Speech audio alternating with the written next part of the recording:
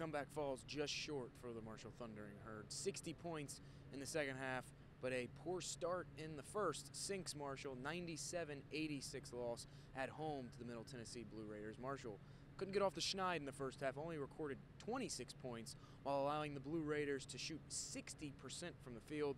After the game, Ryan Taylor, who scored 13 of his 20 total points in the second half, frustrated with the team's start. I don't know. I mean, we got the looks. we shot 9% from three in the first half and just 26 overall from the field. We can't do that despite his team leading by at least 20 points for majority of the first half. Middle Tennessee head coach Kermit Davis, after the game, acknowledged the challenges his team faced in defending the high-octane offense of Marshall. I just don't think you can guard Marshall conventional. You can't be a conventional man-to-man team. You've, you've got to add some switching to it.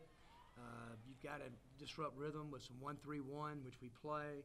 We try to change some defenses because when they come downhill, and Elmore and those guys are so good. It'll be back to the drawing board now for the Marshall coaching staff. But with a two game road trip to Old Dominion and Charlotte upcoming, head coach Dan D'Antoni cautioned fans not to panic just yet.